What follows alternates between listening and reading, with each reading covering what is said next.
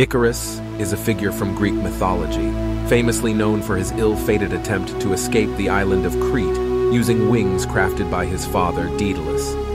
These wings were constructed from feathers and wax. Ignoring his father's warning not to fly too close to the sun, Icarus soared into the sky, becoming exhilarated by the newfound freedom of flight. However, the wax holding his wings together melted due to the sun's intense heat, causing Icarus to plummet into the sea and meet a tragic end. The tale of Icarus serves as a cautionary allegory, highlighting the dangers of hubris, recklessness, and the consequences of overambition.